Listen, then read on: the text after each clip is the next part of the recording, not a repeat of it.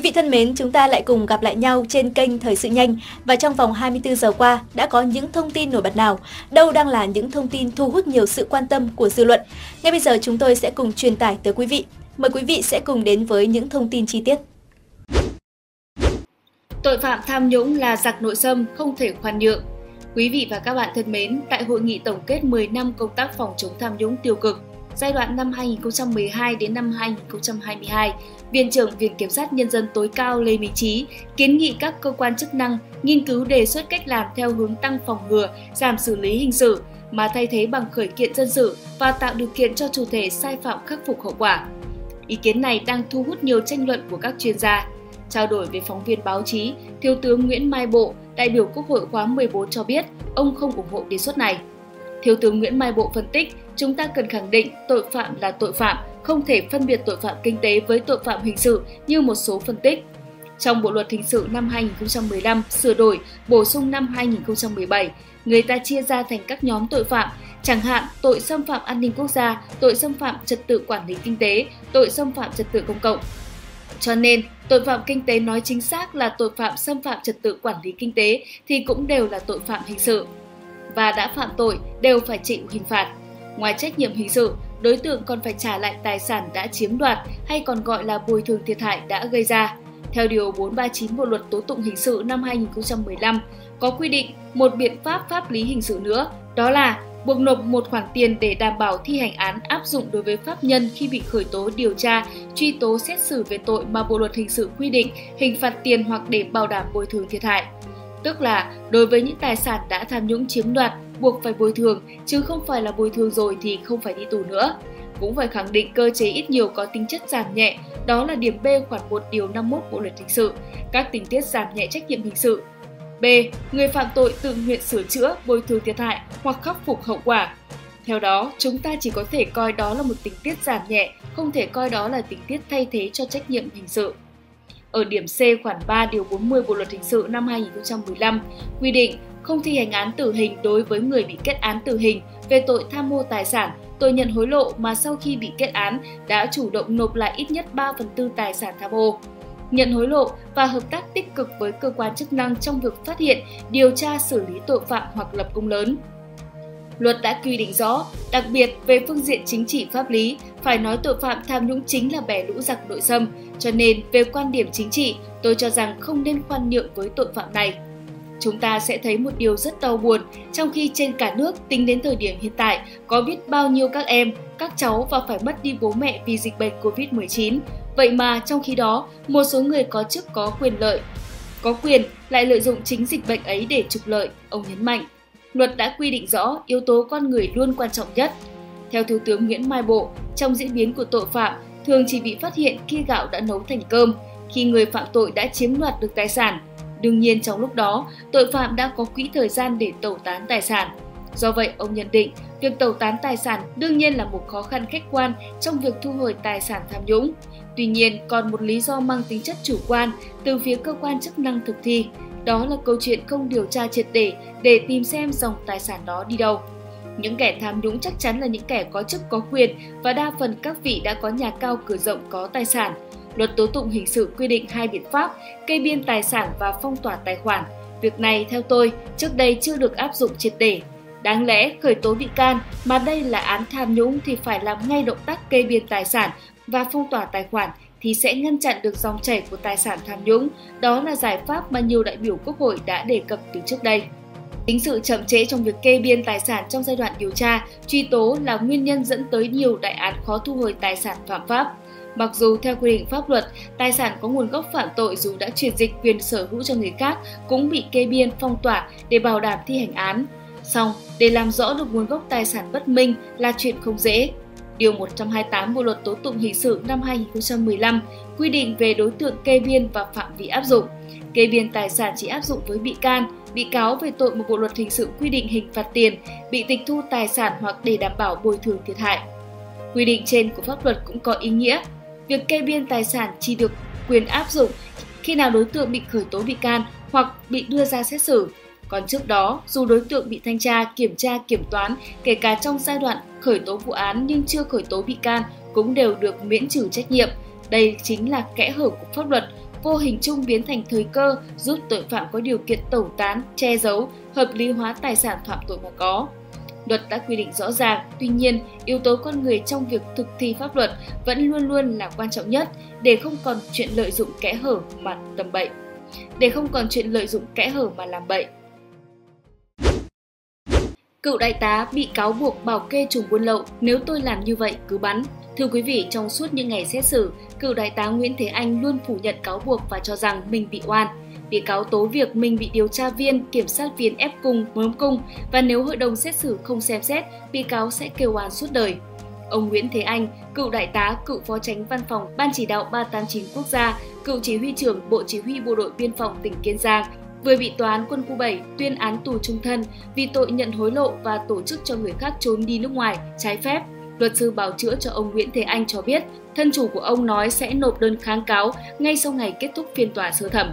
Theo cáo trạng của Viện Kiểm sát Quân sự Trung ương, sau thời gian quen biết với ông Nguyễn Thế Anh, trùng buôn lậu sang Phan Thành Hữu, sinh năm 1957, ở thành phố Hồ Chí Minh, đặt vấn đề nhờ ông này bảo kê cho hoạt động buôn lậu.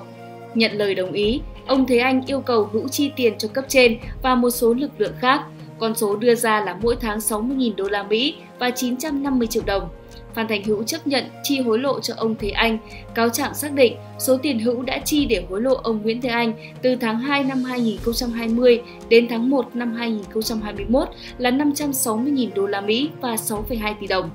Cựu đại tá kêu oan trong suốt những ngày xét xử, bị cáo Nguyễn Thế Anh luôn phủ nhận cáo buộc, cho rằng mình bị oan, bị cáo tố việc mình bị điều tra viên, kiểm sát viên ép cung mớm cung. Theo lời khai của ông Nguyễn Thế Anh, ngoài lời khai bị ép cung bị cáo, sổ trích xuất bị cáo ở trại giam là chứng cứ quan trọng chứng minh việc bị cáo bị ép cung. Họ trích xuất bị cáo ra làm việc hơn 30 buổi, nhưng thực tế chỉ có 9 buổi ghi trong sổ trích xuất. Hơn 20 buổi trích xuất kia để đi đâu, đây là chứng cứ rất quan trọng. Bị cáo dám lấy tính mạng mình ra để đảm bảo. Lời khai của bị cáo Thế Anh nhắc đến tâm thư và những lời nhận tội tại giai đoạn điều tra, bị cáo cho rằng họ buộc tôi phải nhận những gì tôi không làm. Trả lời thẩm vấn về mối quan hệ với chùm buôn lậu Phan Thành Hữu, ông Thế Anh một mực cho rằng mình không quen biết người này, chưa bao giờ nhận một đồng từ Hữu.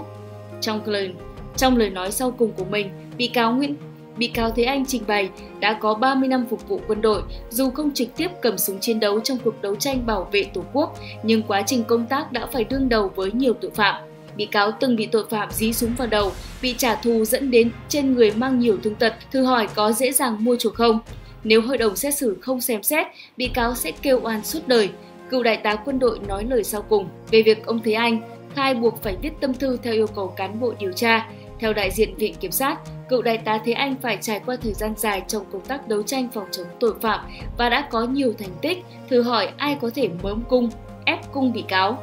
Trong trại giam, bị cáo xin giấy giám thị để viết tâm thư. Những suy nghĩ trong lòng bị cáo như thế nào, bị cáo tự viết ra, ai có thể viết thay cho bị cáo đại diện Viện Kiểm sát lập luận. Theo quan điểm luận tội của đại diện Viện Kiểm sát, có thể khẳng định trên các cương vị của mình, bị cáo Thế Anh vì vụ lợi được hữu nhờ bảo kê bị cáo đã nhận tiền hối lộ của chùm buôn lậu xăng. Số tiền mà bị cáo nhận hối lộ được xác định là 6,2 tỷ đồng và 540.000 đô la Mỹ. Hành vi của bị cáo Thế Anh thông qua Nguyễn Văn An nhận tiền của Hữu đã phạm vào tội nhận hối lộ. Sau khi hành vi của Phan Thành Hữu bị phát hiện, Hữu bị bắt để che giấu hành vi của mình, bị cáo Thế Anh đã tổ chức đưa Văn An sang Lào để trốn. Bị cáo Thế Anh đã tổ chức đưa Nguyễn Văn An sang Lào để trốn, bào chữa cho thân chủ của mình. Luật sư Đặng Văn Cường khẳng định, kết quả tranh tụng cho thấy chứng cứ buộc tội ông Nguyễn Thế Anh là chưa đủ, thiếu chứng cứ để chứng minh có sự thỏa thuận giữa ông Nguyễn Thế Anh và Phan Thành Hữu. Vấn đề các luật sư cho rằng không có chứng cứ vật chứng chứng minh cho hành vi nhận hối lộ của các bị cáo, đại diện Viện Kiểm sát khẳng định ngoài lời khai của các bị cáo. Người làm chứng còn có nhiều tài liệu, chứng cứ có trong hồ sơ vụ án. Trong đó, cơ quan tố tụng đã thu thập dữ liệu viễn thông theo đúng quy định của pháp luật, thể hiện lịch sử cuộc gọi, địa điểm cuộc gọi hoàn toàn trùng khớp với hành vi phạm tội của bị cáo.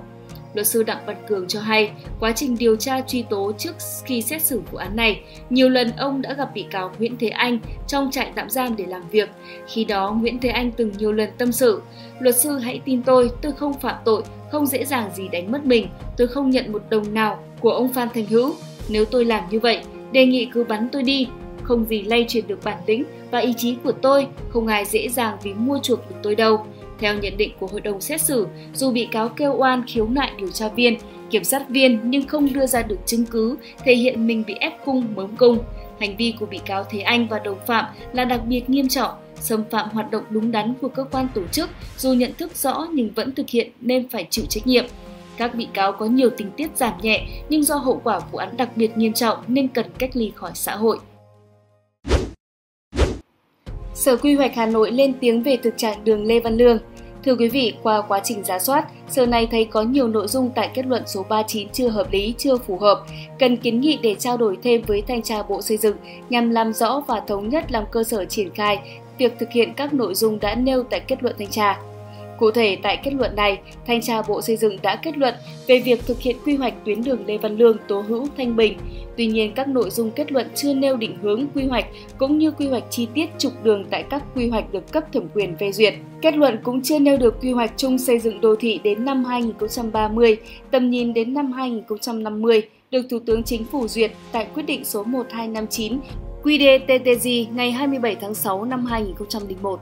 Điều này khiến Sở Quy hoạch Kinh tế cho rằng kết luận số 39 chưa đầy đủ và toàn diện, chưa phù hợp quy định về pháp luật cũng như yêu cầu phát triển kinh tế của thủ đô qua các thời kỳ. Việc này dẫn đến việc một số phương tiện thông tin đại chúng có những nhận xét chưa chính xác về việc tổ chức lập và thực hiện quy hoạch các tuyến đường Lê Văn Lương, Tố Hữu, Thành Bình. Văn bản nêu rõ, trong văn bản, Sở Quy hoạch Kinh tế Viện dẫn nhiều cơ sở pháp lý để khẳng định qua các thời kỳ từ năm 2002 đến nay, trục Lê Văn Lương trước hợp nhất và Lê Văn Lương kéo dài sau hợp nhất luôn được xác định là xây dựng trục cao tầng. Để triển khai chỉnh trang các tuyến phố hướng tới kỷ niệm 1.000 năm Thăng Long và để phù hợp với định hướng mới sau khi hợp nhất Hà Nội với tỉnh Hà Tây, Ủy ban nhân dân thành phố đã báo cáo và được Bộ Xây dựng thống nhất các công trình tại đây. Nội dung định hướng cao tầng này cũng đã được cập nhật và xác định rõ tại quy hoạch chung xây dựng thủ đô đã được Thủ tướng Chính phủ phê duyệt tại quyết định số 1259 QĐ-TTG. Sở này khẳng định các quy hoạch chi tiết, quy hoạch chung các quận huyện, quy hoạch phân khu do Ủy ban nhân dân thành phố Hà Nội phê duyệt là bước cụ thể hóa và tuân thủ định hướng của quy hoạch chung và đều có ý kiến bằng văn bản của Bộ Xây dựng trước khi phê duyệt. Việc thực hiện điều chỉnh cục bộ các quy hoạch này, các quy hoạch chi tiết tổng mặt bằng các dự án Ủy ban nhân dân thành phố đã làm cũng bảo đảm nguyên tắc này không phá vỡ định hướng quy hoạch chung của thủ đô đã được Thủ tướng Chính phủ phê duyệt. Trường hợp nếu điều chỉnh khác thì phải báo cáo xây dựng trình Thủ tướng xem xét cho phép văn bản khẳng định thanh tra Bộ Xây dựng chưa áp dụng đúng quy định của pháp luật. Vì vậy, theo định hướng tại quy hoạch chung xây dựng thủ đô, quy hoạch phân khu, Ủy ban nhân dân thành phố phê duyệt quy hoạch chi tiết trục đường Lê Văn Lương và trục tố. Ngoài ra, các kết luận của thanh tra Bộ Xây dựng về việc không tính toán giải pháp về hạ tầng kỹ thuật, hạ tầng xã hội hoặc việc điều chỉnh quy hoạch khi chưa tính toán hạ tầng kỹ thuật tại một số dự án, quy hoạch tổng mặt bằng là quy hoạch chi tiết để xác định các sai phạm, công bố công khai tính toán hạ tầng kỹ thuật, hạ tầng xã hội, xác định các chỉ tiêu cây xanh hoặc yêu cầu phải cập nhật nguyên chỉ tiêu các dự án và quy hoạch phân khu cũng cần được xem lại phù hợp bởi không có cơ sở pháp lý.